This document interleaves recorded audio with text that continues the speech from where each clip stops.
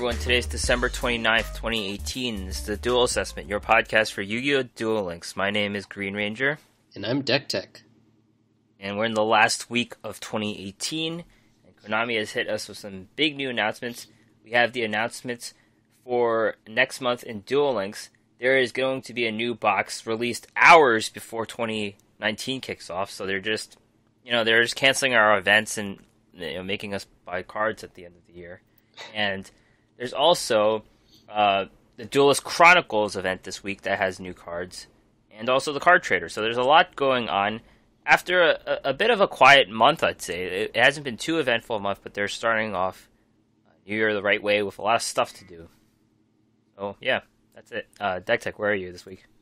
Uh, yeah, so I thought that the holiday season meant, you know, with like days off and whatever, meant that I would be able to play more.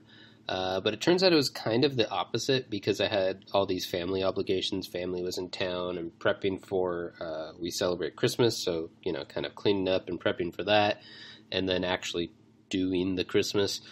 And, uh, and then once I got back to work after that, uh, work was a madhouse, and I had something due yesterday, which was Friday, uh, and I had three days to do it, and it was probably more like a five to eight day project or something. So uh, basically, long story short is I didn't play very much at all this week. I I didn't even finish all of the like normally even when I'm light playing, I still do the events and stuff and just don't play PvP. But I haven't really been able to do that even. I missed uh, at least one of the uh, the puzzles from last week. They're already oh, gone. Wow. I wasn't able to do them before they left, so that was a bummer.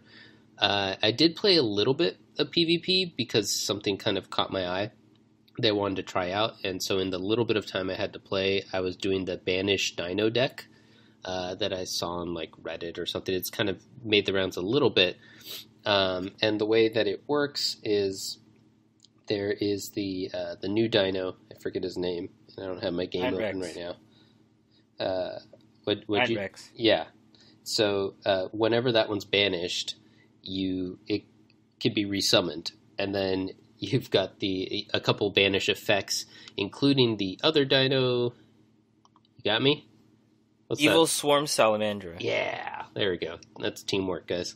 Uh, Evil Swarm, uh, who you can banish a, a monster from your graveyard uh, up to twice a turn if you want to do them separately, or if you have multiples, and uh, and buff him up. So you use the banish guy, you get free summons, you use like sarcophagus and stuff, and uh, basically it's a pretty decent tempo deck. Um, obviously, your guys are pretty big uh, because they start fairly big. Evil Swarm's buffing itself, and you've got the Jurassic World out. Um, and so it trades okay and stuff, but it still just didn't feel like it really competes on the same level uh, as the decks that are doing all the special summoning, like the uh, masked heroes and the vampires. And uh, when you're on the ladder, you don't face a ton of control decks because it's a little pricey for the normal ladder players.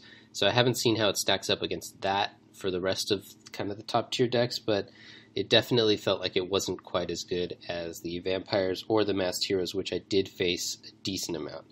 Uh, but it is fun, and so I might play more of that.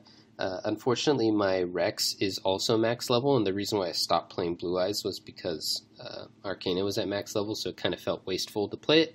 So I might instead try to find something else. I still haven't gotten, for instance, Akiza's uh, skill to use my junk guy uh, a little bit oh, more. So maybe I'll go back to trying to farm that once I get some time to play again. Oh, yeah. Yeah. How about you?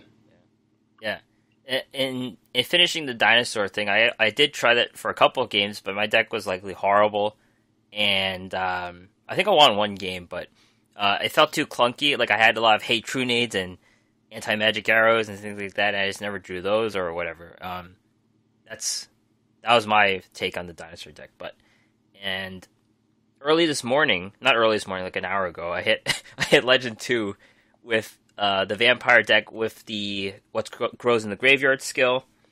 Um, I don't really have an ambition for King of Games. I just didn't play a ton this month, so I'm trying to get as many rewards as I can.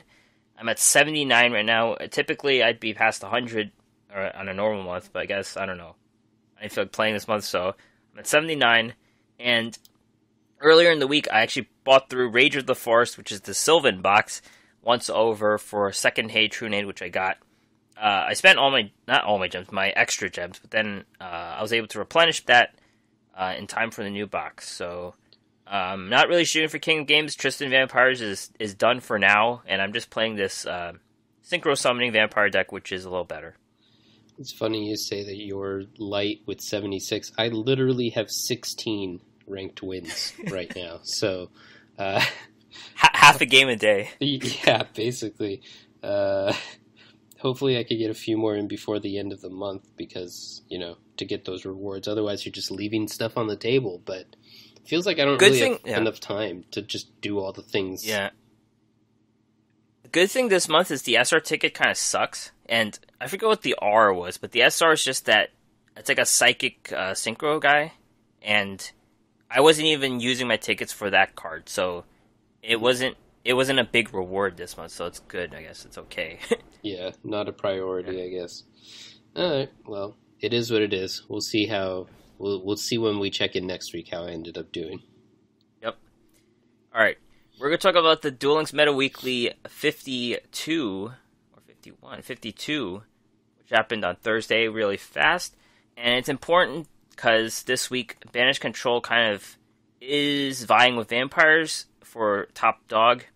I mean, they were named Tier One, so it, it makes sense. They they did more successfully in the top 32. 10 out of 32 decks were a control deck, so there you go. Um, It's and also, they did take over. Oh, sorry. Go. Uh, I was saying it's also relevant because 52 means we've done it for a year now, right? Right, right. Yeah. So a year of Duel Links meta tournaments. That's pretty awesome. Good job to everyone over there who's been putting them on and stuff. Yeah. I remember I looked at the first one this year. It was number one, so it is 52. It's been a year. So they've done it every week. Um, 10 out of 32 were a control deck. And even though three of the four were a banished control, there is a sneaky deck that took first place. A very fun and interactive sneaky deck. Yeah. and uh, emphasis on fun and interactive. If you're familiar with that, it is first place Oeda Juice Man with Show of Nightmares, Silent Swordsman, and Silent Swordsman never really took off. But if you remember, it is a one-turn kill type deck. This one combines the Dark World cards. You've got Broww Huntsman, Dark World Dealings in Into the Void, and Magical Stone Excavation. Into the Void and Magical Stone Excavation were also bamboo cards, so you, you also have Broken Bamboo Sword, Cursed Bamboo Sword, and Golden Bamboo Sword. So this is a first turn kill deck. It's not even one turn kill deck, it's like a first turn kill deck. Yeah. First attack turn, I guess, right? Yeah. Because you have to attack with it. But yeah, definitely just an an OTK deck. Um, the the fun and interactive meme. I'm not sure how many people get that from here because that's a different game, but that comes from our Hearthstone roots right there. Uh, basically, just you do your thing. Your opponent doesn't really do anything, and you win because this is, you know, you're just drawing your entire deck. Yeah, I remember. I don't think I had enough into the voids back then, but I definitely did use magical stone excavation in my in my bamboo deck, so that all fits. And uh, golden bamboo got uh, limited to one, and it still works out, I guess. So, I, I guess congrats to this guy for building this deck and actually beating everyone, even if you don't like the the way it happened. Oh yeah, definitely. Congrats to actually winning. Yeah, I do wonder how this works, though. It seems like a very. Yes, yeah. I mean, it clearly it did, but it just seems like a very uh, fragile combo in the meta right now, where people can just Paleozoic your guy, right? Or the does- silent sword slash says unaffected by opponent's card effects. So I guess that's how they get by it. Oh, okay, all right. Yeah, my bad. I was looking at just the swordsman because he's only unaffected by spells. Um, obviously, I haven't faced this deck very often, so okay. Right. Well, then the other problem is that they could just put guys into defense position, right? How does he attack directly? Hmm. I think let's see. I'm not sure. I don't know either. I have seen versions that did do something to attack directly first because it only has a thousand attacks, so you can do a, you know, a secret pass of treasures or whatever. But this one doesn't have that. So I don't know. Seems interesting. I don't think these tournaments are open deck lists, right? No, Yeah, because they always talk about like not saying who has what and whatever. So maybe whatever it is is in his sideboard. I note that the sideboard is missing um, in this little report, so maybe he's got some way to work around the hate or the play arounds in his sideboard. So we'll say Oh, that's we'll the see. case. Second place, Negdu Zap. This is the uh, typical uh, synchro banish control deck with the Akiza skill. Uh, we have seen this type of deck before where they cut the uh, jugglers for some junk synchrons. A notable thing about this deck is that there's only one dust tornado. I've I've seen some with two or three in the past. This only has one. They put in uh, mirror walls in place of it. I think. Yeah, um, yeah, maybe. I also don't see enemy controller in every list. I think it should be in most lists anyway because it's just very good. Uh, it's especially very good when you have the synchro guy. For obvious reasons, you can steal their thing and then use it as part of your tribute, so that's very powerful. Um, but not every version has the synchro or econ, and so that's one other thing to note. Otherwise, it's mostly just about standard, and in fact, standard enough that the next list is the exact same list. Yeah, Hideki Bro has the same exact list. He did know in the comments they forgot his sideboard, so probably we could expect the sideboard to be different, but we'll never know. So it's the same exact deck list. Yeah, one, I guess we could talk about that. Um, Negdu Zap sideboard, which is here, has a card I've never seen before Scrap Iron Statue. Uh, so when a spell trap card that is already face up on your opponent's field activates its effect, destroy that card. Also, after that, set this card face down instead of sending it to the graveyard. If this card is sent to the graveyard, you can target one junk monster in your graveyard special summon in defense position. You can only use effect once per turn. So that's kind of a cool card. It's like infinite counters to Right. things like, uh, I guess, Amazoness and not really Sea Stealth because they get to protect their thing, but similar cards. So that's kind of cool. And it obviously works with your junk synchron guy. I've seen this deck. I've seen this card in the computer with uh, when you're facing Yusei, and he just keeps bringing it back. It's just like this duel, this auto duel is taking forever. Sometimes you just have to take over for the auto dueler and just finish out the duel. You're like, what are you doing, guy? Get out of here. That's what happens with GX Chronicles. He couldn't beat one of the the final bosses forever with a Fur Hires deck, and it was annoying. Like I, I had to come in after three losses or something. Yeah, I have to step in. And third place, Edu sixteen. This is a Sealed Tombs Amazoness version of Banished Control. You do have six cards that flip things face down. So there's three Floodgates, three Paleozoics, uh, 24 card deck. Yeah, this one seems more grindy. They don't have the synchro, so it seems uh, more grindy. And you do have Big Burn in the side deck, which is a card I expected to see at some point, and finally came. So there you go. Yeah, yeah, it's uh, it's interesting. I, I guess you can run twenty four because you have the the tutor effects and a lot of redundant cards, and maybe you feel like you have to run twenty four to make up for your cards that tutor cards out of your deck, so that you're not behind on cards when you in the games where you have to go for the deck out win. So it's an interesting uh, deck building choice. I I feel that. We've got two also notable is there's two princesses, one onslaught, and zero of the uh, the reanimation card. Forget what it's called, but so that means you only have one target for your two princesses. Sometimes you're gonna whiff, uh, but this is like the minimalist um, Amazoness packaged only intended to use it as kind of a control option. So it's kind of Yeah. cool. That's the Meta Weekly. Um, in other news, Duel Links Meta updated their tier list just a little bit. So what did they change in the tier list? Yeah, so this time they the only change is that spellbooks has been dropped off uh, completely, so it's removed from the list. It used to be tier three. Everything else remains the same, which means control vampires are tier one, masked heroes tier two, um, blue eyes where'd it go? Blue eyes, Buster Blader, Fur Hires, and UA are tier three now in their estimation. Uh, they've been updating these more frequently now, so I'm not sure if their plan is just to do it every week or if they're still just doing it whenever it updates. But you know, the meta's been shifting a little bit more recently than it has in the past. So either way, it's kind of cool. We've got the link here if you want to check it all out and a little bit of their explanations and stuff for why they're moving things the way they are. And just as a disclaimer, they take into account tournament things. So for people like us, we still see plenty of spellbooks. It does. It's inconsequential for that. It's not like they left uh, Legend or Platinum. Um, they're just not in tournaments.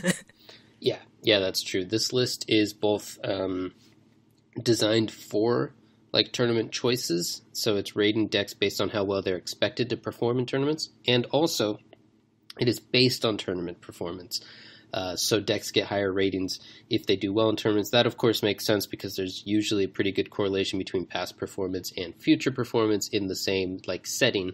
But all of that is to say that, like you said, it's not necessarily the uh, closest tied to what your latter uh, experience is going to be like. So sometimes that helps, and sometimes it doesn't. And especially with um, more expensive decks like Control, you're not going to see a ton of that just because people don't have the cards for the banished control decks, um, whereas the cheaper decks will tend to live on, um, or the decks you know that people just the decks that people gravitate towards, and then they've invested some time and energy and sometimes money into it. Some they like to hold on to them a little bit longer than maybe these like semi-pro type players do. All right, so we left us we left ourselves plenty of time to talk about the new cards from the new box Revolution beginning which releases about you know five hours or so before the new year uh, comes, and um, so we, we should expect a Tuesday at some point. Wait, Tuesday or Monday? Let's track of days. Monday. It's Monday at some point, thirty first, and it's important to note that this is the first box to have reprinted cards. So there are actually five reprinted cards. They're the last five cards in the box. Fabled Arustos, Fabled Dyf, uh, Karakuri Ninja Model seven seven four nine Nanashick. That's one. That's one card. Koa'ki Meiru Boulder and Karakuri Anatomy. These cards were from uh, Valiant Souls or Gaia Genesis. Yeah. I'm not sure like what, what happened here. Like, did they run out of cards, or did they just not want people to fetch for these cards? Uh, they thought they were useful, so they reprinted them. I don't know. Yeah, I mean, I don't think we'll ever know I doubt they will specifically tell us. Maybe the sales on those other boxes were uh, short, but I don't think so because Valiant Souls did pretty well. I thought. Um, maybe the other one though, but it, it, maybe they just kind of wanted to make it so that you could build these complete archetypes by just buying through this box, which kind of makes sense. Um, it's kind of a pain when you want to build a new deck, and there's a lot of cool tools in one box, but then you need to buy from like three other boxes also just to get this one specific piece of the thing as well. So, I don't know. It would all be easier if they just let us like craft individual cards like most other card games do. So, oh well. It's Yu- it's it's Yu-Gi-Oh. yeah, they don't they don't feel like that. Uh, another point, just before people you know tweet us and call us stupid and write in. Uh, we are talking about this is the first box that's re- like normal box that's reprinting another normal box. We know, of course, right. that there were the reprint boxes that, uh, I guess, pre-printed cards maybe, um, or reprinted old cards as well. So we we are right. aware. The structure decks also do that. This is a box that took from another box. that's, that's yeah. the only way to say it. Yeah. Right. All right, let's go over the URs and SRs in its entirety. Junk Destroyer, 8 star Warrior Synchro, 2600 2500, requires Junk Synchron and another tuner, other tuners. When this card is Synchro summoned, you can target cards in the field up to the number of non tuner monsters used for the Synchro summon and destroy those cards. So, this is just another. I mean, with Synchros, we're kind of a broken record. It's kind of another card to put into your Synchro collection especially since Junk Synchron is very popular with Armades. So, in the event you get eight stars worth of monsters, this is a good card to use. Yeah, and eight stars isn't even that hard when you're already going for a five stars. Like if you have Armades out, then you get another Junk Synchron. You can summon this fairly easily, and Uh, I think this isn't one that you like build around. It's just one, like you said, that you throw in. So you want a one of of this guy probably. Just on, you'll probably use it. I don't know, once out of every twenty or maybe even fifty games. You're not going to use it every game, but sometimes it's just going to win you the game because you get to clear off one or two of their things and also get a big swing with your fairly big guy, twenty six hundred not big enough to attack into Anki or Blue Eyes, which is slightly problematic, but still a decent enough guy. Bigger than the vampires, right? Typically. Yeah, so that's Yeah. all you need. Karakuri Shogun Model 00, Zero, Burei. Machine Synchro 2600, 1900, one tuner, and one, and the non tuners have to be machines. When this card is synchro summoned, you can special summon one Karakuri monster from your deck. Once per turn, you can target one monster on the field, change its battle position. So it's not too flashy, but it's also another card you can add to a machine deck for your extra deck.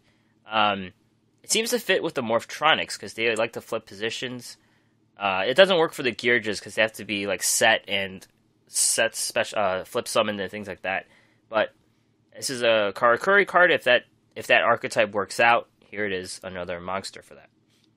Yeah, I think the the big problem is that this is one in unlike the Junk Destroyer, this one requires you to build kind of a, a specific deck about it. You need uh, machines, of course, but also it gets most of its value when you have it in a Karakuri deck specifically.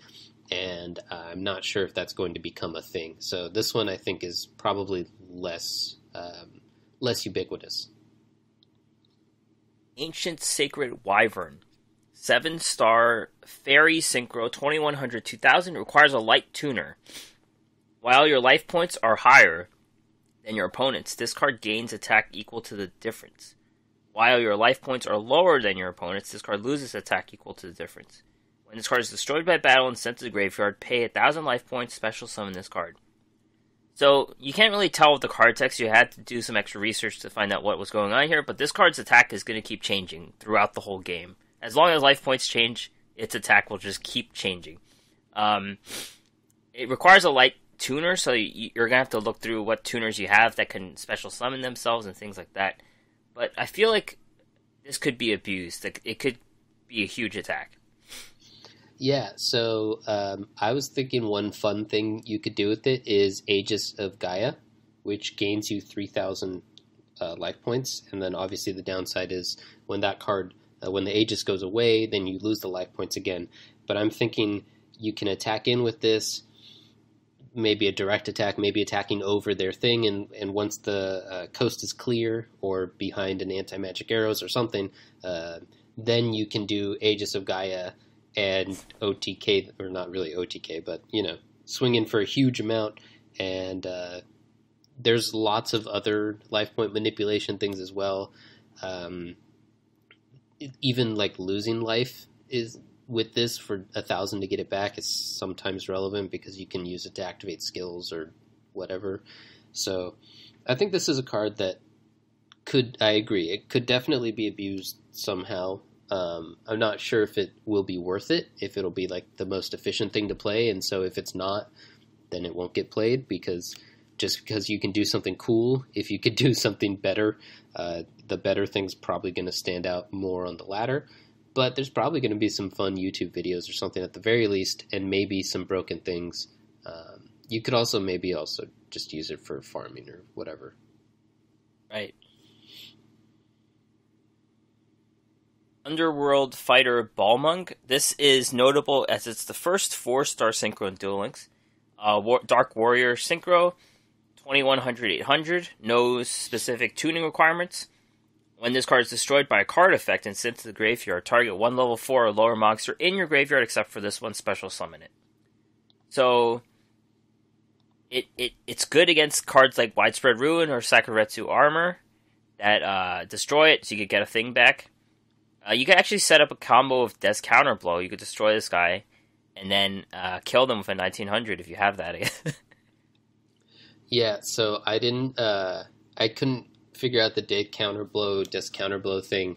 Uh, turns out you need two of this guy for it to go infinite, right? You summon one, and then you get, uh, I guess you could summon both because the first one will go into the graveyard from the disc counter blow. And so you attack in. Disc counter blow says whenever a monster attacks directly, destroy it. So do that. Attack indirectly, it gets destroyed. The other, the next one attacks indirectly. it brings back the first one, and you know they keep doing an infinite loop like that. Uh, probably not going to be super relevant because we only have 4,000 life points in this game anyway, and so two attacks is lethal. But that's kind of cool still. Also, this guy looks like a fancy Japanese uh, Black Panther, so that's kind of cool. And Okay, I yeah. thought his sword sheath at first was an iPhone, so there's lots of fun stuff going on here. He's filming him killing people. That's what that's what's going on. That's that's what it is. Yeah.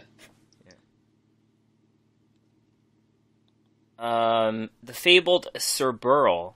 This is a two-star beast tuner, uh, part of the fabled set, 1,400. If this card is discarded to the graveyard, special summon it. So, in all in all essence, this is a free two-star tuner. There's a lot of cards that discard. The whole fabled set discards, and you can even use the tricky. So you you throw this away with the tricky, and then you have two guys uh, that are special summoned. They're not even normal summoned. So you could play another guy, and it's seven stars at least right there. So pretty good card. Yeah, and it's a light, which is sometimes relevant, including for that other guy that we just went over, the ancient wyvern. So, uh, also relevant. Like you said, you can use it for synchros as well as just regular tribute summons. Uh, when you do that tricky thing, and then you have uh, two pieces to fuel your uh, your two tribute guy.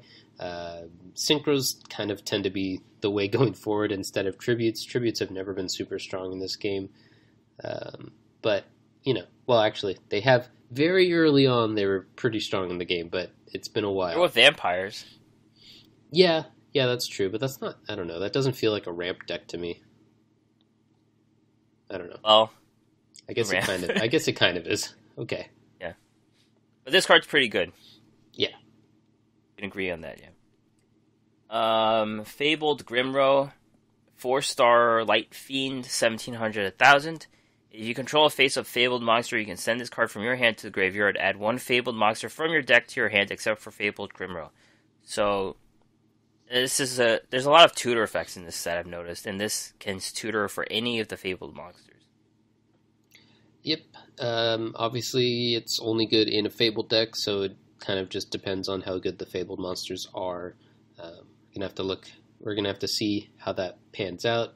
Um, I, tutor effects are always good if the thing they're tutoring for is something that you want. So that's kind of just what it comes down to. This also has a decent body, though, so I guess it'll be good on its own if you want to it like for instance if you already have whatever you're getting and then you're just kind of trying to close the game out or whatever or you need a tempo play then it works for that purpose as well The fableds are kind of weird. They're all like, they're all light fiends, which is, or some of them are animals. I guess that's a little different. But light fiends, I'm trying to think about if there's any like buffs or anything like that. Power of the Dark, Power of the Dark doesn't care about attributes, just uh, the type, right? I think. yeah Yeah, or forget it. Uh, Doom Caliber Knight, four star Dark Fiend, 1900, 1800. Cannot be special summoned. During either player's turn, if a monster effect is activated, tribute this face up card, negate the activation. If you do, destroy that monster. This is possibly a chase card, I think. Um, you've seen some decks have cards like Skullmeister in the sideboard to negate the graveyard effects, and this would just do it to anything on the board. So it's better, it's strong. Um, it seems like a banish control type card right away. yeah i think you're onto something there it feels like um, some sort of control maybe the banish control maybe like the more board centric ones uh, like kind of old style control um, might see a little bit more of a comeback it just seems like a powerful card. It's got a good body as well as a good effect, and so that's kind of the exactly the type of card that has always seen some play. Right. Miracle Fusion spell card. Fusion summon one elemental hero fusion monster from your extra deck by banishing fusion materials listed on your side of the field or graveyard. So there's a lot of elemental heroes. I'm not going to go through them, but they were mostly not played at all. And this is this is obviously better than polymerization because you could reuse the things from the graveyard, which is okay. which which isn't it helps because some of them have impossible fusing requirements, and this helps in that regard. But you made a point about Gem Knights, comparing this to Gem Knights. Yeah, so what this makes me want to do is play Grass Looks Greener, right? To dump a bunch of things into my graveyard so that I then have this big pool of resources that I can use this card for um, and summon whatever I need to. Uh, the problem with that, though, is that you might dump this card with Grass is Greener. So what you need some way to get it back, or you need to wait or draw it first or whatever. And uh, that's unlike the Gem Knights, which their fusion card you can get back from the graveyard, which I think is a very, very important part of their fusion card. And so this feels like it's just a worse version of Gem Knights because you can't do that core powerful mechanic. Right. Maybe there's a skill where you could wind up with this in your hand, like Spell Specialist or Show of Nightmares or something. I don't know. Yeah, spell specialist, you might end up with just more grass is greener back in your deck, right? you don't want I don't know that. how it works. Um, but maybe the yeah, I mean it's possible. I might be wrong. There might be something playable here, but it feels like a worse Gem Knights, and Gem Knights, of course, have always been kind of a, a tier four deck. You know, Yeah. never quite on the top tier. Good enough to play on the ladder, um, but not definitely not one of the top tier decks. And this feels like a worse version of that, so I'm not sure if it'll even be good enough to play on the ladder. And the last UR a Shrink, quick play spell, target one face up monster on the field. The original attack of that monster is halved until the end of this turn. So, you know, right away this looks worse than certain cards like Mirror Wall and things like that. But there is utility you could use on your own monsters, on their monsters. It is a quick play. Um, and you could use it offensively or defensively. Um, yeah, just a lot of things you could do with this card. Yeah, it seems like a at least a decent card. Uh, you pointed out a tricky use of like saving your the guy that you love from widespread ruin for a turn. Yeah, yeah. Um, I saw maybe some tricks uh, using the Amazon Swordswoman, you know, to just take a bunch more damage, or I guess it wouldn't be a bunch more; it'd be like 750. more, but Yeah. uh, but a bit more damage at least. Um, and that could kind of make up for Massive Morphs being limited. I don't know. Now that it, now that I've said it out loud, 750 doesn't seem like a lot, so probably not. Eh. But but it's something. You know, sometimes that's all you need to get in to win. So uh, this will maybe see like a little bit of play. It's kind of one of those utility cards that uh, isn't like OP, so it's not obviously going to go into a ton of decks like, for instance, Enemy Controller did, but it's still a very utilitarian card that'll probably see at least a little bit of play over the course of you know its life in the game. Yeah. All right, so we're moving on to the SRs. Iron Chain Dragon. This is a very lightly represented archetype in this box. Six star synchro, Dragon Synchro 2500 1300. No tuning requirements uh, specifically. You can remove and play all Iron Chain monsters from your graveyard to have this card gain 200 attack for each card removed until the end phase. When this card inflicts battle damage to your opponent, send the three top cards from their deck to the graveyard. So the Iron Chain's mill. This is a six star synchro if that fits your deck. It, mills a little. it hits. It has okay attack. Yeah, my thinking on this is it's an okay attack. Um, that it's another one that you would kind of just throw into your extra deck if you have room for it, um, because every once in a while you'll get it out, and every once in a while those top three cards off your opponent's deck will win you the game, where the damage wouldn't, because you're in a you know a grindy matchup and you're each down to your last couple cards, and then boom, you can use this to mill your opponent out and win. Uh, it's another one that I don't think you're going to summon very frequently, if at all, uh, in most ladder climbs, but it's a good thing to have in your toolbox if you have room for it, for just in case you need that last little bit to put you over. Yeah, in Duel Links, I find myself in a lot of uh, more often than I expected in situations where we just pass until the game ends. I see. I, I do that a lot. I don't know why. That's interesting.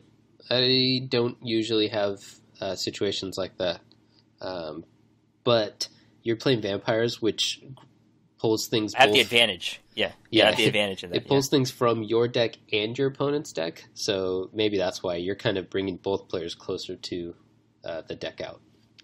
and I don't get it because they don't do anything either, so they just lose. like, I don't, I don't understand that. Like, if you're gonna be drawing faster, you're gonna, you have to do something, and they just pass every turn. I don't get it. I don't, I don't yeah, know. some players aren't the best players. I don't know.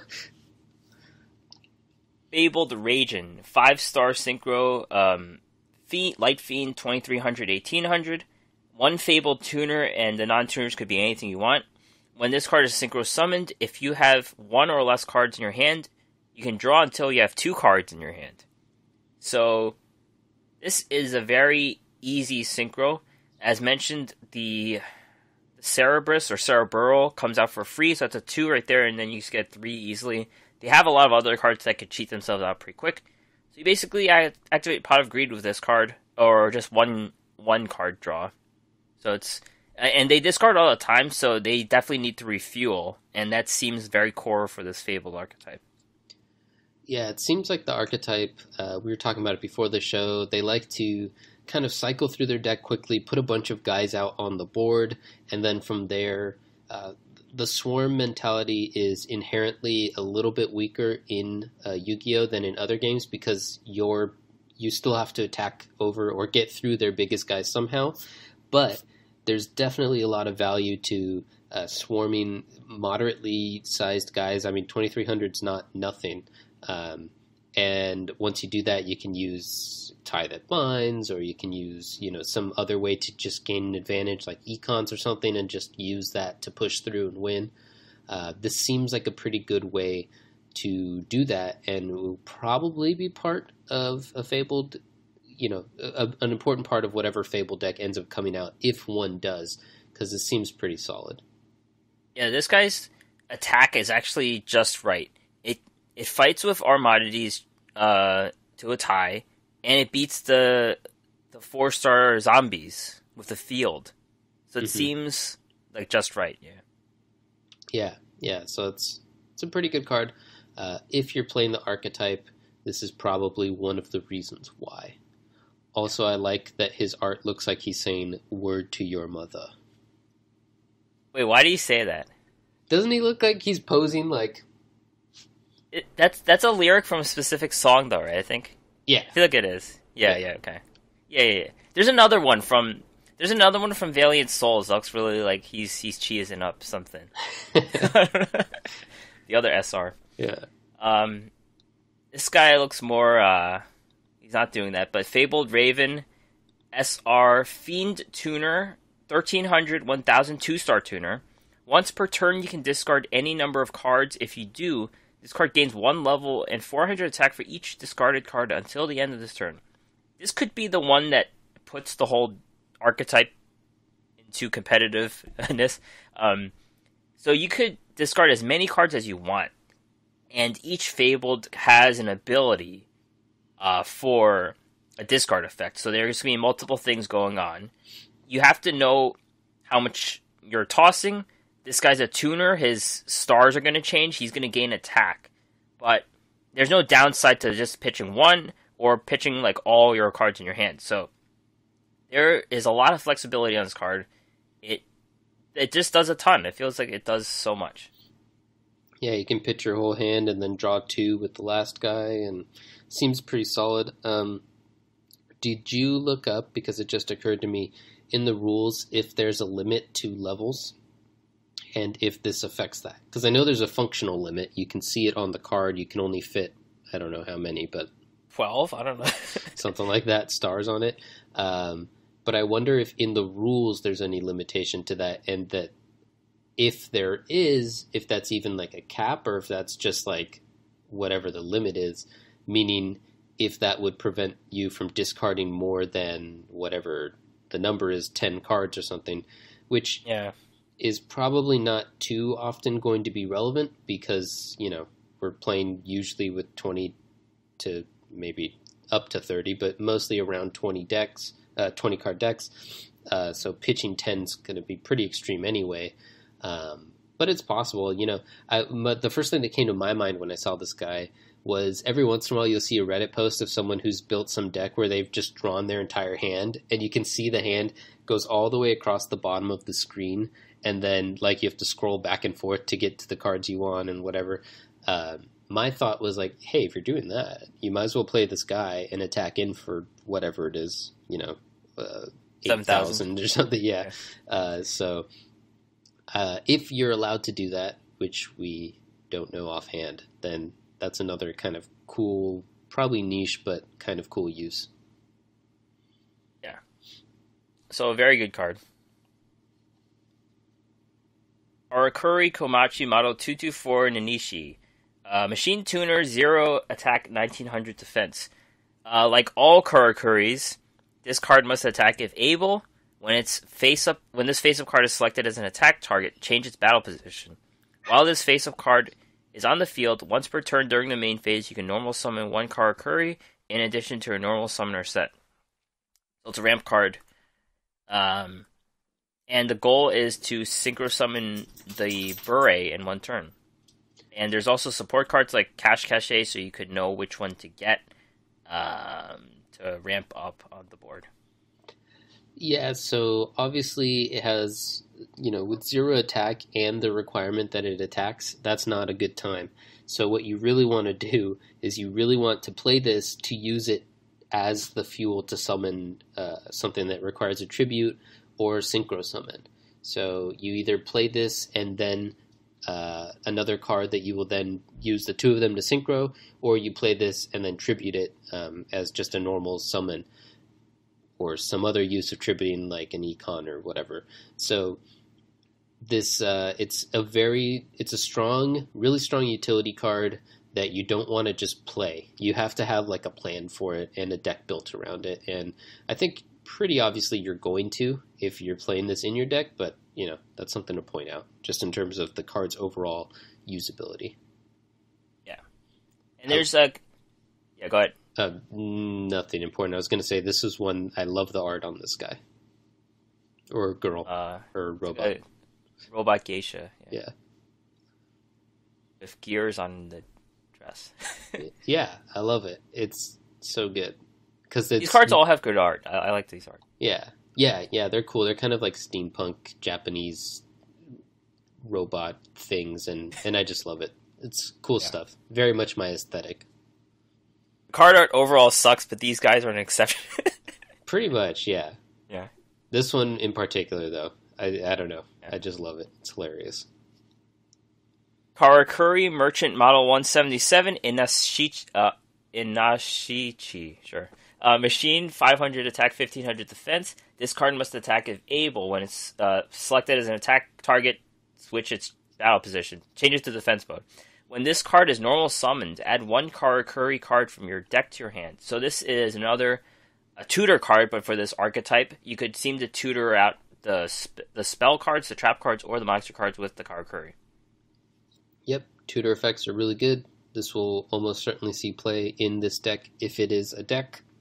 Has the same right. problem, of course. Uh, 500 attack is super low, and if you must attack with it, then you're going to take a lot of damage and a huge backswing. So instead, you want to get rid of this guy somehow. Um, use it for something so that you don't have to do that, preferably. Right. I'm looking at some of their cards from Valiant Souls. There's they're all quick plays. There's one that adds 500 attack and 1500 defense. There's one that adds a thousand attack, and uh, there's one where they swap attacks or something with gold dust. So. Yeah, something you could do. Yeah, I don't know. I understand it. It it seems like the idea is that if your opponent has nothing on the board, then you get a little chip damage in, and then you get switched to defense position, so you don't take a lot on the backswing. But that requires them to have an empty board, so you have to have some sort of removal. And in this version of the game, we're not playing with Raigekis and stuff, so you know it's less common for them to have nothing on the board. Uh, except on your first turn, then you get a free one, I guess, because you can't attack anyway. So you might as well play it, and then you're not going to take a lot on the backswing because of their ability. So that's kind of that might be just like the easiest use right there. Uh, yeah. In addition to just the ones where you're going to use them to synchro or tribute or whatever. Koaki Meiru Rook Lord, seven star warrior, 2800 to 2200. Uh, like any Koaki Meiru, you need to sh- send uh, Iron Core from the hand or grave to the graveyard, or reveal a warrior monster from the hand. You can tribute summon this card by tributing one Koaki Meiru monster. When this card is normal summoned, remove from play a Koaki Meiru in your graveyard to destroy up to two cards your opponent controls. So up to, so one or two cards. Um, this is like a, this is just like Maximus. You you saw the deck a little bit because it could just win, and this one could destroy two cards. Yeah, yeah, this guy seems really good. Not quite as good as I thought when we were reviewing it because I missed the part where to activate its ability you have to remove from play a Kawaku uh, Koaki Meiru card. Uh, unfortunately, I thought that it had the normal downside of you have to get rid of a card, but then once you distribute it, no matter what, you get the destroy two, which would have been awesome. You could have been able to use it in pretty much anything. Um, as it stands, you probably pretty much only use it in the Koaki Meiru decks, but maybe you could do like a mini package of it or something uh, to use in other stuff as well. Not exactly sure, but very powerful card. Uh, clearing the way for a beat stick of 2800, that's just good stuff right there. And there's a lot of You solid you- warriors, so that portion of revealing a warrior type from your hand, that's not really a big downside either. You could just double summon the Koaki Meiru you just used and just do it in one turn, I guess. Yeah, yeah, you could do that too. Shield Crush, spell card. Target one defense monster on the field, destroy it. Very basic card. It has, it could kill some sets right away that are annoying. Uh, it works with the Karakuri Synchro because that switches fields, and you can use it with any popular card uh, that switches things into defense mode. So Econ, Paleozoic, Floodgates, Sphere Kuriboh, Windstorm, Pulse Mines. Yeah, yeah, tons of those, lots of good stuff. Um, it seems like it's kind of frequently going to be an inherent two for one because you've Yeah. just used your Paleozoic or Econ or whatever. Uh, and sometimes you're not going to want that. Sometimes you just attack into whatever you just floodgated. But sometimes they kind of just stay there for a long time, or you're only using a Sphere Kuriboh to save yourself like a bit of damage or whatever. So, you know, that seems pretty solid. I think we already have. Do we have the nobleman who gets rid of set guys? Yeah, yeah, we do. Yeah, it just doesn't see any play because prior to, I, I mean, I guess it pops up every once in a while, but there's not a ton of set cards in this game in most metas, uh, so that guy never really saw much play. But this seems a little more utilitarian to me um, because it doesn't have to be set, and so you can maybe use it a little bit more frequently, even though it's slightly less powerful um, in terms of just overall power when it goes off. I think the extra utility might be just enough to get this to see play. So this seems like a pretty decent card that has a solid chance of seeing some play to me. I just realized that the card in this art is the Millennium Shield. The one that has 3,000 defense. Oh yeah, that's funny. Sh- shot right through it. Yeah, just get it. It's crushed. Kind of. Karakuri Cash Cache. This is a spell card. Select one face up Karakuri monster you control. Add one level 4 or lower Karakuri from your deck to your hand, and change the power position of the selected monster. So this tutors any of the monsters that you can get with the merchant, which you probably want to switch to defense anyways. Um, and this also has synergy with the anat- Karakuri Anatomy, which lets you draw two cards. Uh, take you take less damage basically with this card.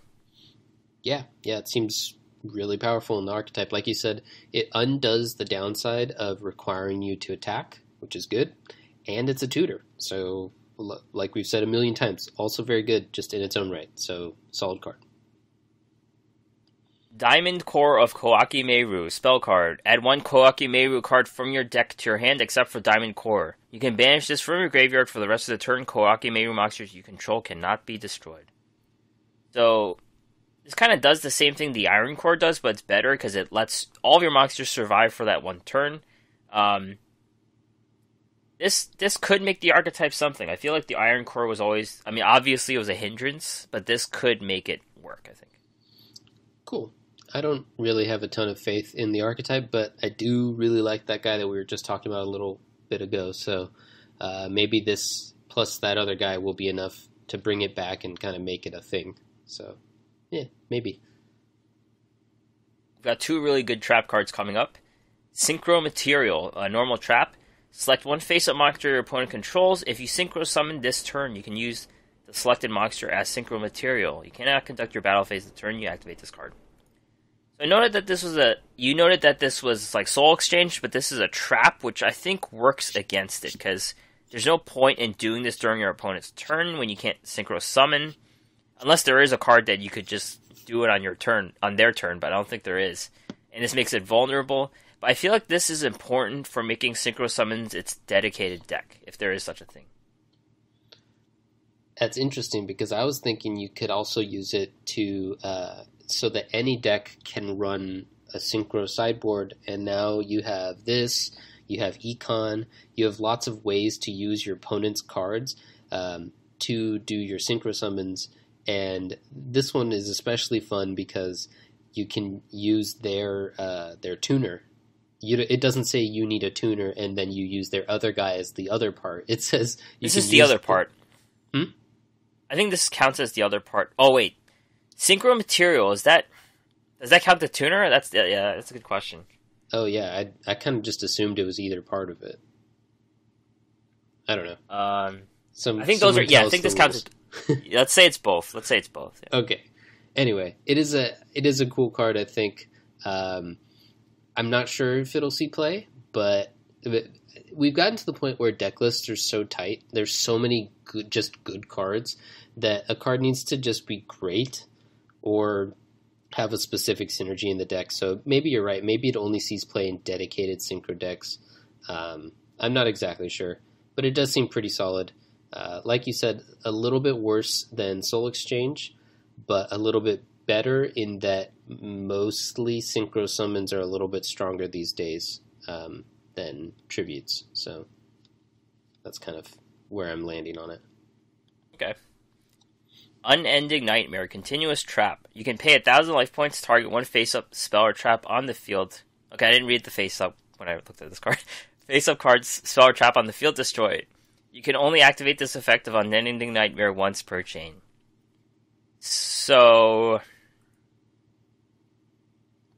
why don't you talk about this card? Because I thought it was all spells and traps. I didn't realize it was face-up only. Okay, yeah, I tried to get you there on the notes. Um, the yeah, so you can use it. it- Obviously, it's good for controlling the back row. It's not perfect in that uh, you can't just use it infinitely to clear everything, but it does work pretty well. Uh, there's a few solid choices. Uh, it also works well though with cards like Hey Trunade that people will try to play around by flipping their stuff face up.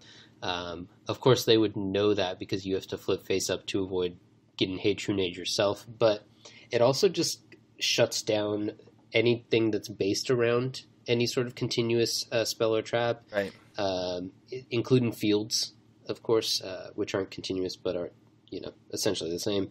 And uh, it's just pretty. It seems pretty solid. Any sort of reusable back row control seems pretty solid. And even though the life will often be a downside, it can sometimes kind of be an upside because you can activate skills or you know whatever sort of tricks you want to do with your life points. And the last thing I want to point out is that you do not have to target uh, an enemy card. It says any card. So there are a few spells and traps that you can play on your side and then target with this um, to do some fun stuff like gain life, draw cards, uh, destroy enemy monsters, any of that type of stuff. Yeah. So this, as it stands, uh, good against pretty good against vampires because that hits two of their cards. Uh, pretty good against UAs because that hits two of their cards. Um, Amazon Also- and Sea Stealth. My my children, they both get hit by it. Less Sure. so Sea Stealth because then that's kind of just requiring them to bounce a guy, but it's possible. um, I was gonna go somewhere else. I forgot it. Um, this is pretty good with Bandit. Mm-hmm. You destroy the face-up ones and you steal the remaining one. Yeah. Yeah. There you go. Yeah, I think it's it's one of my favorite cards of the set. You're, it's one of those cards though that you don't need a full playset of, right? Because you only need one in most cases, um, and then you just keep using it. And so, frequent like second one that you'll draw will often be dead card, and so you're going to want it in a deck, it's probably best in some sort of deck where you can pitch your extra cards, or you'd maybe only just run one in your deck anyway, and just hope you draw it at some point, and you know, kind of like people do uh, with some of their back row control cards now. I don't know. Overall, it seems like a solid card that will probably see some play in the right meta or right deck at some point, but you probably don't want a ton of them. So it's a slight bummer that it's an SR because you know you're going to end up with a, a few if you're buying through the set. Yeah. The one card that keeps in check, obviously, is Enki. So. Uh, yes. Yeah. Yeah. Also, it keeps itself in check, right? If your opponent has one and you have one, and then you can destroy theirs or vice versa. And so um, it'll never get like crazy, and it obviously kind of depends on the meta because you you need there to be important face up spells and traps for this card to be important. Um, cards that stay on the field as well, not just ones you just play. So um, it's it's going to be a meta dependent card, and I don't think there's probably any chance that it's going to like break the meta. Um, but I do think it's a solid card that'll pop up every once in a while in the in the right metas and right decks. Right. All right. So we're going to talk about now the four main archetypes of the box: the fabled or fabled. Um, fabled Valkyrus is a 2900 attack synchro. Once per turn, you can discard one fiend monster to draw a card. So this goes along with the engine of them discarding for effect, drawing a card. So, there you go. Cool. Yeah, works with like the um, the dark world and all that type of stuff. So, right. Yeah, it kind of just goes with the whole theme of the archetype. So, it makes sense to talk about that when we're talking about the archetype generally. This card looks really uh, bizarre. The Fabled Kudabbi. It's a four star beast synchro. It gains these effects based on the number of cards in your hand. If you have zero cards in your hand, it cannot be destroyed by battle or card effects. If you have three or more, destroy this card during the end phase. Very interesting card. You could just stay on the board forever when you have zero cards. Yeah, yeah, it seems like a solid thing. Um, sure, decent works with the archetype and everything. Uh, where's the next one? Fabled Kushano. Uh, tuner, you can discard one Fabled monster to the graveyard except for Kushano to add this card from your graveyard to your hand. So this card ability activates while in the graveyard. So, um, it's a tutor card, sort of. No, wait, it's not a tutor card. Well, you could just discard any Fabled you want to the graveyard and add this from the graveyard to your hand. It's a tuner. I don't know. There's a reason for it. yeah, I mean it's it gives you that utility. It works with the ones that want to be discarded, all of that. So, kind of another piece to bring the whole archetype together. Um, let's see. Krus is uh, level four. It special summons itself. Level two. It special summons itself for free when you discard another fabled monster, and then fabled Chawa is a free one star tuner. So, as we didn't go through all of the cards. There's also another one, Nezuchi. That one can get three cards out with when you combo it with Krus. So they're all really small, and they could all swarm the board pretty fast, which helps for the synchros. But they don't have a ton of attack, I guess, and they don't really destroy cards. I think that's the difference. Yeah, and their boss monster feels more like a kind of a utility monster. It's kind of like um, the when uh, geez, what are they called? Cyber Angels switched because of restrictions and stuff. They had to switch over to uh, Dick, no, uh, the the dragon guy. Dragon, yeah, Saphira. Yeah. Saphira, thank you. Wow, uh, where it's kind of like your point is to gain uh, card advantage and maybe a bit of tempo instead of to closing out the game, and uh, and that just wasn't quite as strong. um, it it obviously still worked for a little bit, but uh, that just wasn't as good as having like a boss boss monster like Dakini was, and so. Uh, it'll be interesting to see how this works. It seems like a fairly fun and interesting archetype, both to build and play, because you get to do a lot of things. It's always fun when for the player who's doing it for their turn when they get to do a bunch of like discard and this, and then summon that, and then synchro summon this, and then I win somehow. Uh, that's always cool. It right. always sucks when you're on the other side of it, though. so um, I guess we'll see if this be, if this sees a lot of play, then we'll probably get tired of it. And if it sees just a little play, then the people who are going to be playing it are going to be having probably hell of a time. So it's a interesting archetype. Karakuri's are the second main archetype. They have a card called Sazank, which sees some type some play, but it's not really a. It's like an, an annoying deck, but it's not really. It's still a Karakuri uh, card. Um, this Samu is kind of like Genex Searcher. It could tutor any Karakuri from the deck to the field. Well, it, it summons them to the field when it's destroyed. You could use cards like Powerful Rebirth or Time Machine to bring this back, so then you could just keep doing that type deal. Um, Shinkuro is a tuner that has two lives per turn. It's a two star tuner that takes two hits to get destroyed. Um, Karakuri Trick House is a trap card that changes their battle positions, I think. Yeah, select. Activate when the battle position of a face of Karakuri control is changed. Select one card on the field and destroy it. So, when they get hit, they're going to change position anyways. So then you could destroy the monster that hit it, that be hit destroy destroy it before they actually the attack goes through. So that's what the point of this card is. Um, and cast shed negate the activation of a spell or trap when your Karakuri is in defense mode. It's a counter trap. Okay, so uh, I don't know how this, this archetype's going to work. Obviously, you need cards from Valiant Souls to make it work. Uh, we should we shall see if it does. yeah, it seems um, seems pretty powerful. Uh, kind of the same feel as the as the fables in terms of uh, not obviously exactly how it implements what it's doing, but essentially kind of the same style of deck where you're kind of gaining incremental value. Uh, Fable seems a little burstier with it, uh, but it's the same idea where you don't have just like a giant, um, you know, boss monster so much as you're just kind of gaining value over the course of the game and uh, it seems a little bit less exciting to me because it doesn't have that yeah. burst potential uh, quite as much. But it that might make it better. I don't know because it's it's kind of not as flashy. That might mean that it's not making up for something.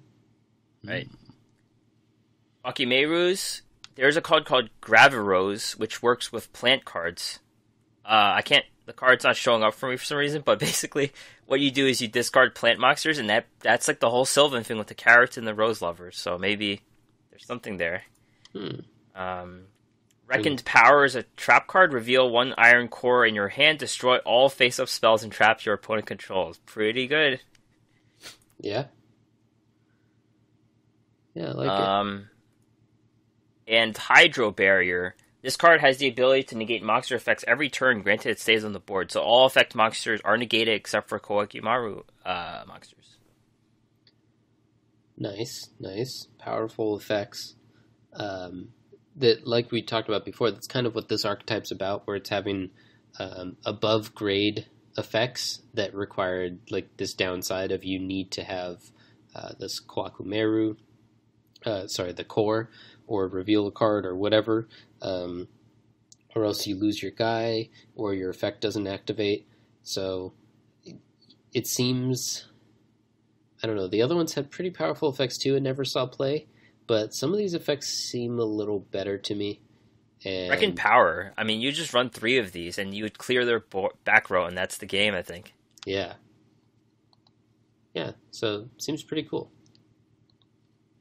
And I don't think the Iron Chains are worth talking about at all, but they're they're a mill archetype, but they don't add up because the Repairman is four stars, and then you could bring us a, a three. No, it's a three star, and it. Oh wait, it's a four star. Shoot, and then you bring back the level three, and then it's a seven, and it doesn't match up with six. It's kind of weird, but um. Iron Chain Snake is what you want to mill stuff. Poison Chain is what you want to mill stuff as well. So, yeah. Okay. Yeah, let's see. I haven't really looked at these guys uh, too much, but you know, mill effects have seen play in the past, so maybe they will again. The Iron Chain Snake is really weird looking, makes me kind of uncomfortable now that I've pulled it up. but uh, yeah, I mean, I agree. They're probably not the best. That's why they're getting minor representation here but I would never count out Mill because we've seen in the past that it's had an impact in this game. It's probably be like packaged into the current mill or something. I don't know. Something will happen. Yeah, I mean, I think without having looked at them too deeply, the odds are probably that it won't see play because most cards don't see play, but there's always a chance. Uh, let's quickly go over some other notable cards. Gen, I, uh, Genex Ally Axel is a card is a synchro card where you could get discard one card to select one level four or lower machine from your graveyard, special summon it, and its attack is doubled, and but it can't attack directly. So it's like you could do that with the ancient gear soldiers, uh, the knights or whatever. So you could make it a really big guy who is immune to back row. Mm-hmm. And do any of our level four lower machines have piercing? Because I know some. Well, Machines... one of the the uh, one of the cyber darks do, I think. Yeah. So that might be something too, where you kind of negate the downside of that. And I'm pretty sure th- these guys inspired um, Lucio from Overwatch. this type of this type of uh, artwork. it's like that type of guy. Yeah. Um, Dark Deal. What's Dark Deal? Dark Deal trap card. When your opponent activates a normal spell card, pay a thousand life points. The effect of that normal spell card becomes your opponent discards one random card. It's a very cool card. Unfortunately, we do not see a lot of normal spells nowadays. Yeah. Um, sorry, the Doom Dogs were going off. Uh, yeah, I I think it's a cool card. Might might see some play at some point. Uh, I think that it's a decent effect, but like you said, maybe not the most targets right now. Miniaturize isn't really worth talking about, but basically the card loses a thousand attack and loses a level. So this could losing a thousand attacks not too much. It's kind of like Mirror Wall, but uh, reducing a level kind of disrupts the synchro summoning play. So there you go. Yeah, that's an interesting thing. Um, this is like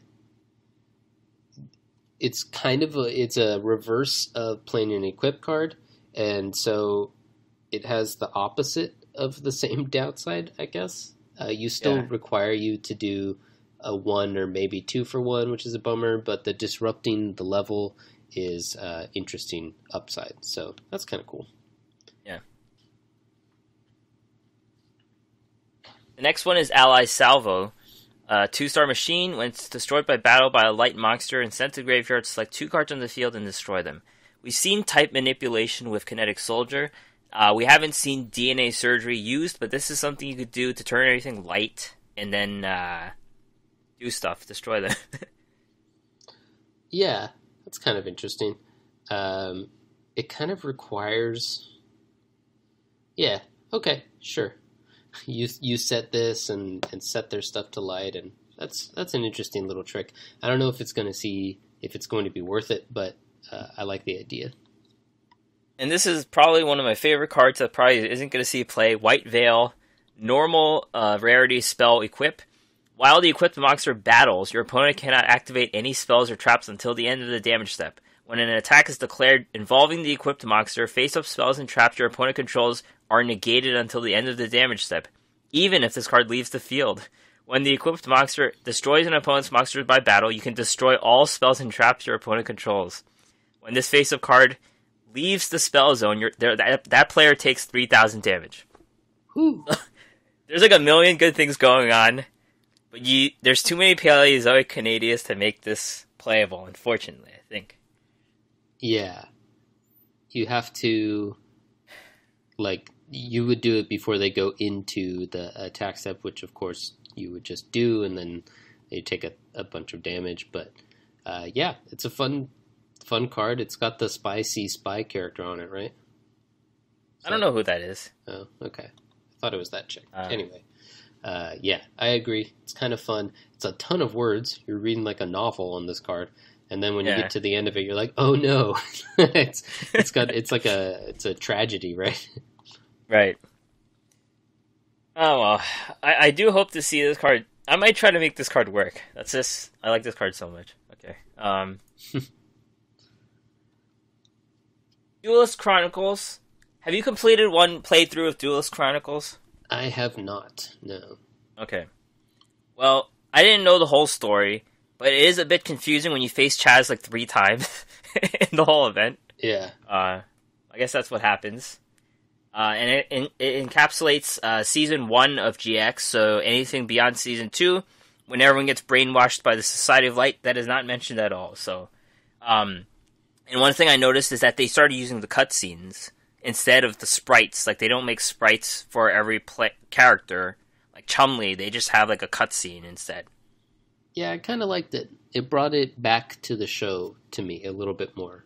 Um, I don't know if you're saying like instead of doing sprites, so it sounds like it was kind of uh, like a, a, cheaper or whatever, easier. Yeah, like a cut, cut and paste job, cut and paste job. Yeah, yeah, but I kind of liked it. I thought it was a good. It's like it's like you're watching the show though. Yeah, they're exactly. Yeah. yeah. So right. Anyway, it's I actually prefer these events to because I don't have to play at a certain time. I can just what I have been doing is like while I'm getting dressed in the morning, I'll auto duel all the guys, and then when I get home at night, I auto duel. I hadn't been doing my stuff during the middle of the day, but that meant I could at least rack up kind of the dice and get my free roll every day or whatever, my free uh, lottery pull. And and even though I wasn't really able to play in these last couple days, I was still able to get some value from this event. So that I, I was I appreciated that during this busy time in my life. Right. Let's go over these cards quickly. They're not that good. Uriah, Lord of Searing Flames. It's basically the Slifer, the Sky Dragon of this of GX. But you send three face-up trap cards you control to the graveyard. Special summon it. It has a thousand attack for each continuous trap card in the graveyard. Each turn, you can target one set spell or trap your opponent controls, destroy it. So, yeah. yep. I mean, I think it's a pretty decent card it, you have to build your deck in a very specific way to be able to get it out, of course, um, because you don't normally run a ton of continuous trap cards.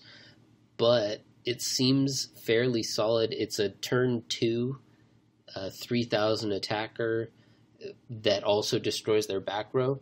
Uh, my main problem with it is that we only get one. Um, so we can't. It's hard to build a deck around a card that you only get one copy of.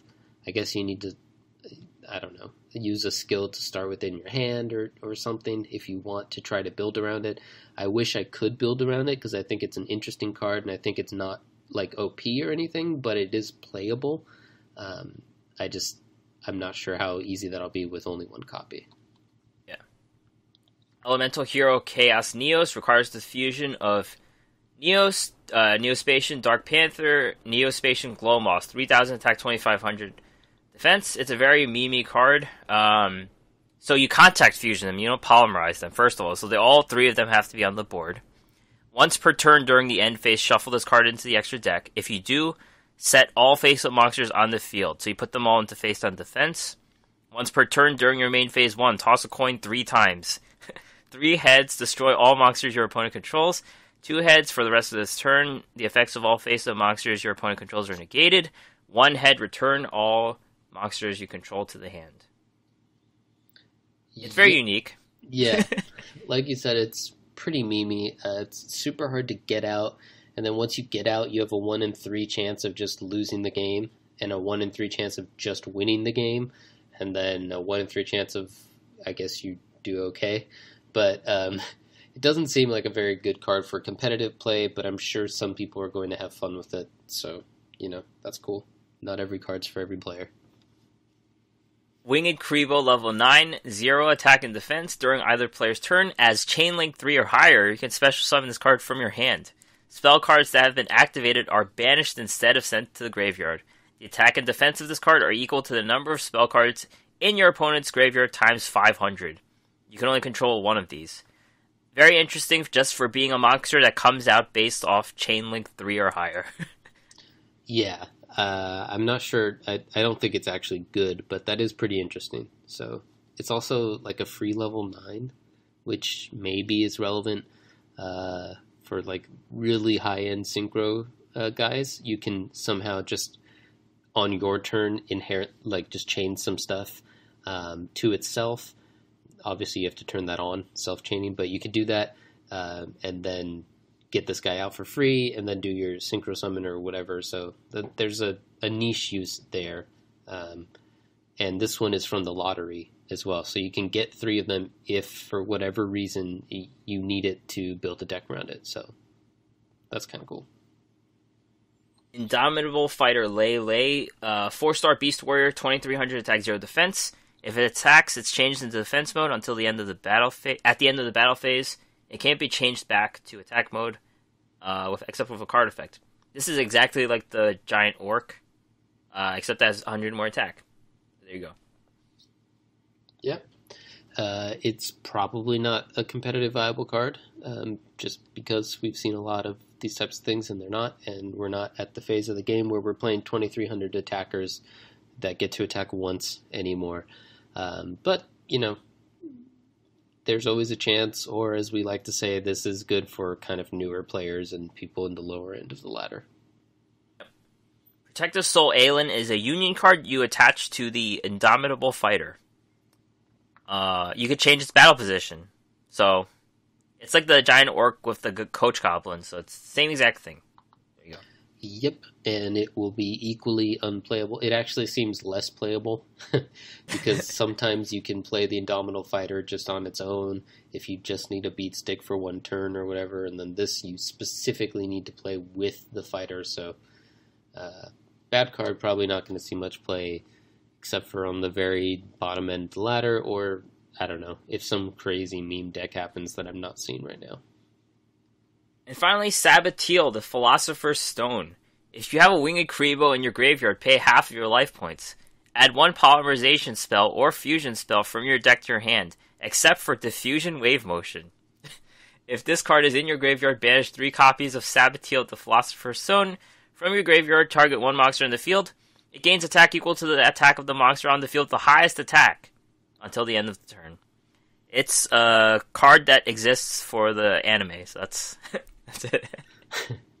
yeah, I mean, I think the tutor effect isn't terrible. Like, it's not a terrible card, but there's just better cards that do the various things that you would want it to do. So, yeah, there's kind of no point to actually running it. It's mostly just like you said for kind of plot reasons. But Professor Banner died just to give Jaden this card. You know that, right? Oh my gosh! What are the Avengers going to do now? Ah, God. All right. Um, card trader update. The card trader has not been updated in forever. We get one new card, two cards um, we had in the past. Uh, the new card is Convert Contact. If you control no monsters, send two Neo-Spacians, one from your hand, one from your deck, to the graveyard. Draw two cards. This is this is actually okay for that archetype because they could make use of them in the graveyard to be special summoned. I mean, to be um, yeah, to be fused and stuff. So, not the worst card, but it's in a bad archetype that doesn't work. Hopefully, this helps it uh, work. Yeah, it'll bring it up to the tier four, maybe. Maybe yeah there is a 48 hour sale with reopenable packs. Um, you get to reset it, right? I think that's what it does. Yeah, so the way that it works, if it's the same as last time, I haven't purchased it this time, uh, but last time you buy the packs and then you open them all up, and then essentially it's it either asks you if you want to keep them, or there's just a button that says like re-roll or whatever, reopen, and then uh, if you choose to do that, then you put those 20 packs back into the box and you shuffle it around, you get a 20 new packs. And those ones you have to keep. You can only reopen once uh, for buying this. So you get to choose if the 20 you got was good or if you want to uh, kind of risk it and get a different 20 instead. Um, but so that's cool. You know, you have a higher chance of getting if you're looking for a specific card. It's also only six dollars for 20 packs. So if you're the type to spend money, this is two weeks in a row that we're saying this, but uh, this is a good deal on you know if you're looking for a specific card in a pack. Uh, you essentially it's not the same as getting 40 packs worth of tries, but it's 20, and then if that didn't work, another attempt at 20. So uh, solid, solid for looking for a certain card, and also just overall pretty decent value on packs. You and you get to role play last gamble. You're pretty much last gambling. Uh, you might get that card uh, or not. I don't know. Yeah. Um, I bought the mirror wall box, the the set. Nice. Thing. I thought about it. ended up not doing that, but um, it was like we said last week, is good value, so makes sense. It gave me a third mirror wall, which I won't use because you know I can only fit two.